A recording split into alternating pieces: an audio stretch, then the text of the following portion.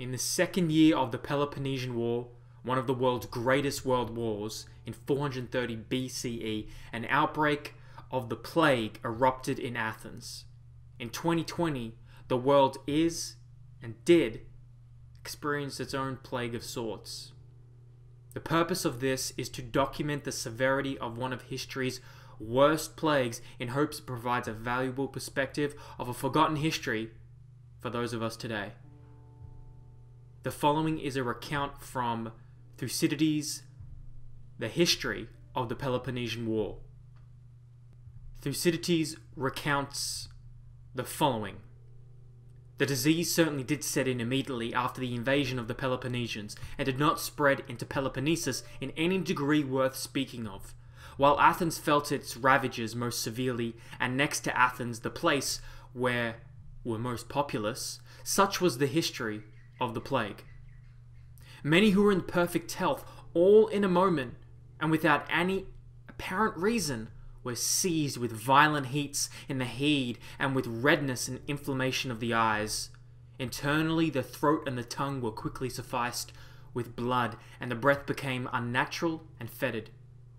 There, following sneezing and hoarseness, in a short time the disorder, accompanied by a violent cough, reached the chest, then fastening lower down, it would move the stomach and bring on all the vomits of bile to which physicians have ever given names, and they were very distressing.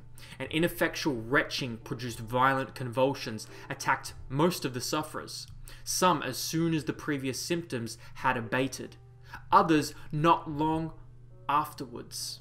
The body externally was not so very hot to touch, not yet pale, it was of a livid colour, inclining to red, and breaking out in pustules and ulcers. But the internal fever was intense. The sufferers could not bear to have on them even the finest linen garment. They instead insisted on being naked, and there was nothing which they longed for more eagerly than to throw themselves into cold water. And many of those who had not one to look after them actually plunged into the cistines, for they were tormented by unceasing thirst, which was not in the least assuaged whether they drank little or much. They could not sleep, a restlessness which was intolerable never left them. While the disease was at its height, the body, instead of wasting away, held out amid these sufferings in a marvelous manner, and either they died on the seventh or ninth day, not of weakness, for their strength was not exhausted, but of internal fever, which was the end of most.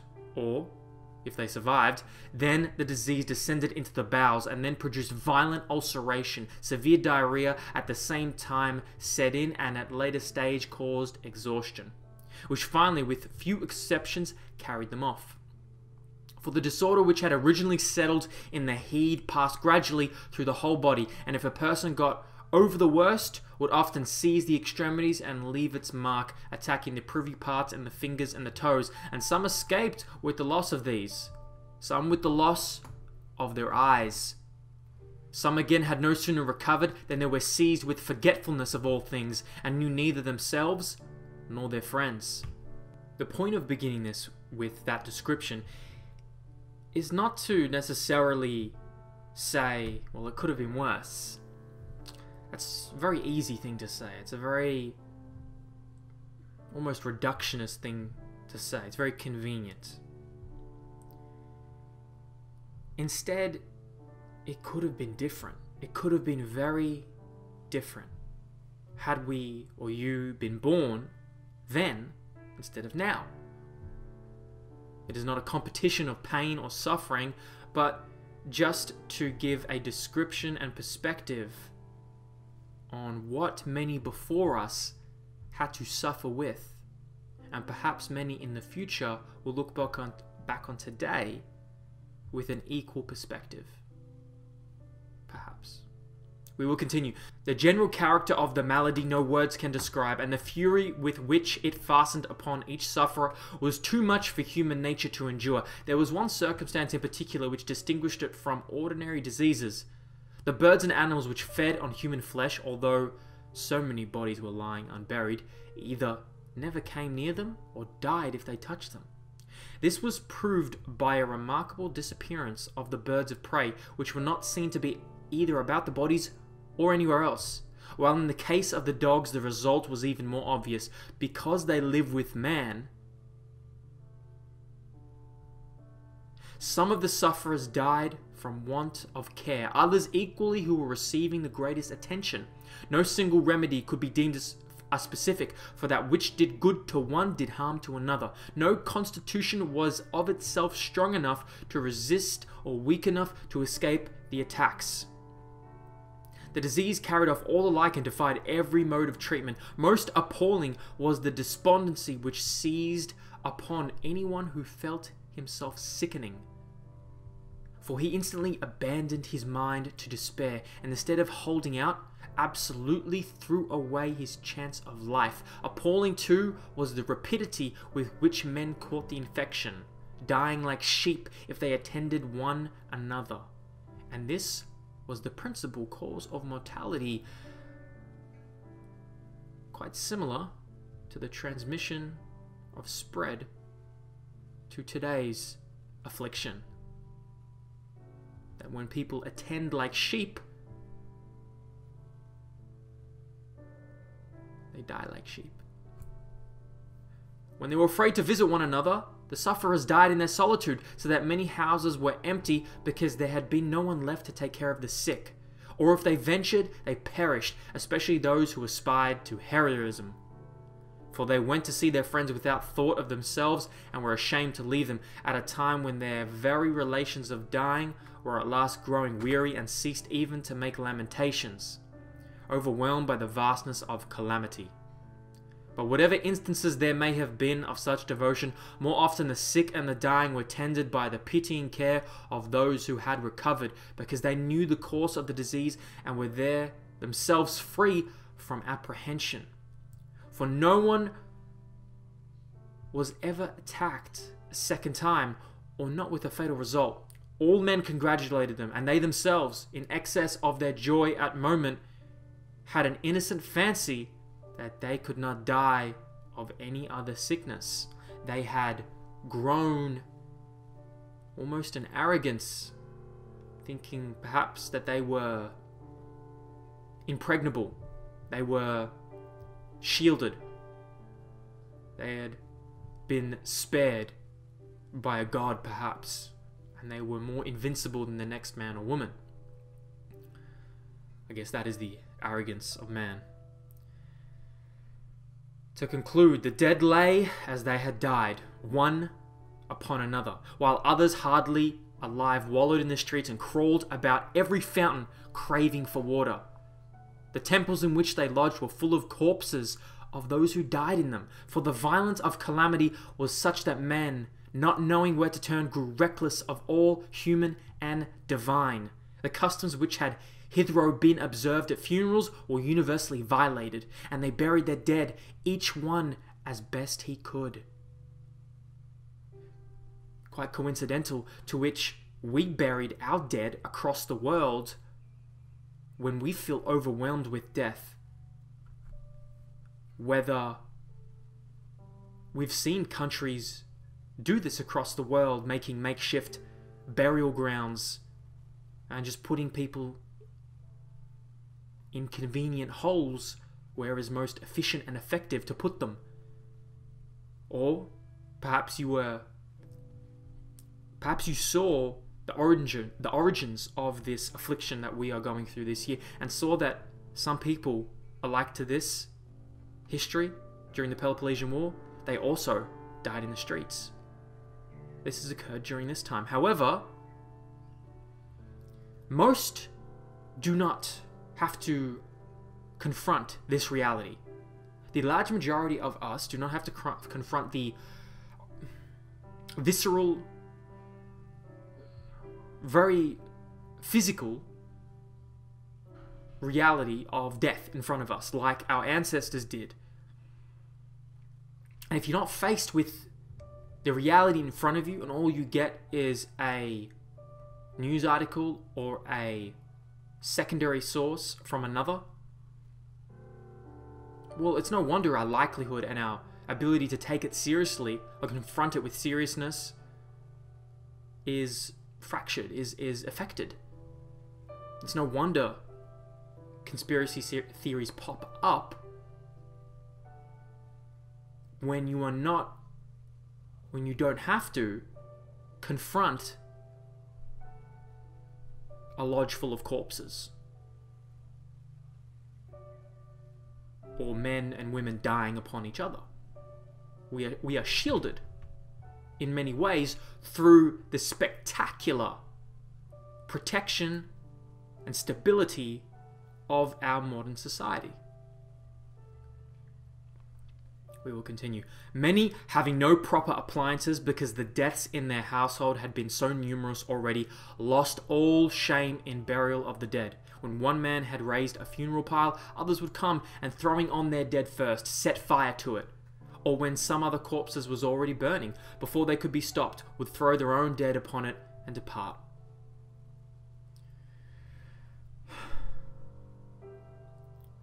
There were other and worse forms of lawlessness which the plague introduced at Athens. Men who had hitherto concealed what they took pleasure in now grew bolder, foreseeing the sudden change, how the rich died in a moment, and those who had nothing immediately inherited their property. They reflected that life and riches were alike transitory, and they resolved to enjoy themselves while they could, and to think only of pleasure. Who would be willing to sacrifice himself to the law of honor when he knew not whether he would ever live to be held in honor? The pleasure of the moment and any sort of thing which conducted to it took the place both of honor and of expediency. And so it seemed like in the face of an unknown threat, a viral threat of death and mortality,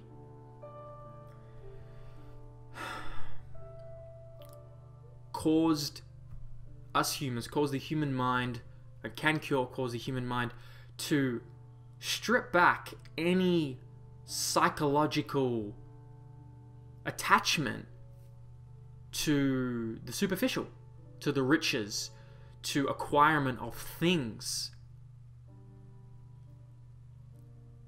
And even a recognition that this is all transitory, this is all temporary, and ends up getting transferred from one person to the next a wealth transfer, a ownership transfer. And so we don't know when the next when our day could end. I could be dead tomorrow, next week. And so they resolve to enjoy themselves. And so death, mortality, severely, when we're faced with it, when we're confronted with it, offers a perspective like no other. It offers a grounding of life, of priorities, of priority, of what is important individually to you. And suddenly, sacrificing yourself and putting honor above everything was no longer a priority. The pleasure of the moment and any sort of thing which conduced to it took the place both of honor and expediency. No fear of gods or law of man deterred a criminal. Now that's important to note. No fear of gods or law of man deterred a criminal. Those who saw all perishings alike thought that the worship or neglect of the gods made no difference. For offences against human law, no punishment was to be feared. No one would live long enough to be called to account. Already a far heavier sentence had been passed and was hanging over a man's head. That was death. That was imminent mortality. That was imminent suffering, pain, and death. I'll reread that last, sentence. Already a far heavier sentence had been passed and was hanging over a man's head. Before that fell, why should he not take a little pleasure? This implies that human behavior becomes lawless and chaotic in the midst of a loss of control over, or, or at least facing the reality that we have a we have very little control over the extreme randomness and chaos of life and facing and confronting of one's mortality. And so, what can we learn? Well, there's many things, there's many perspectives that we can take from this, not story, but history. To conclude the last portion of what we were saying, and it, it's interesting to note how psychologically our value system can shift dramatically in the face of chaos, in the face of instability. The face of instability, the face of mortality, can make a man and woman just lose all fear of punishment. Because what is worse punishment than death? Death of you and death of those you love and care for. What is worse than the pain and suffering that precedes death, including death? Well, hmm. That's one of the worst things to, that man fears. And so no wonder everything else would fall below it. There was a, there was a restructuring of values and, and, and the hierarchy of what was important changed and shifted dramatically for years during this plague. And this is important to note because anytime where an individual or group of individuals, a community, a city, a state, a country go through a time like this,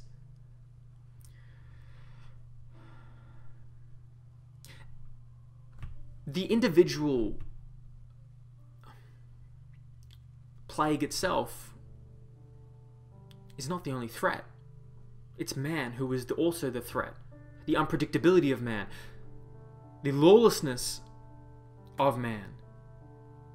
The criminality potential of man. The violent potential of man when they have nothing more to lose.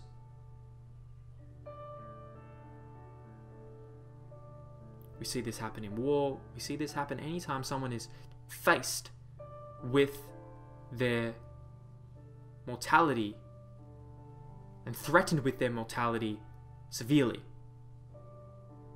You know, we walk around today and we don't have to confront the reality of mortality on a daily basis until someone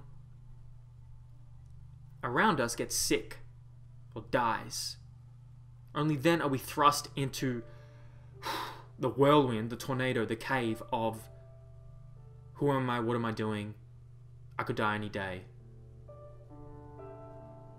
Even then, it's a fleeting moment because it it's like an intense fire, but then the fire dwindles. And maybe maybe if, if you're if you're if you have the mental framework and capacity, you keep that kindling alive to know that, or memento mori, it could be you any day. Remember that you can die and you will die. Maybe you can keep that kindling alive and that can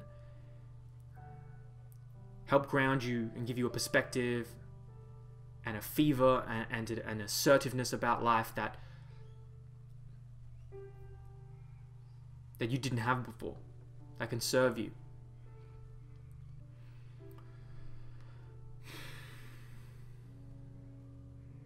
And so that concludes the plague in Athens during the second year of the Peloponnesian War. I hope this recount by Thucydides can provide a unique perspective that we are not alone, we are not the worst to have it, and we are not the best to have it necessarily. That there have been others before us, our ancestors, who have suffered greatly, and that perhaps we can look to history to teach us about how to deal with today.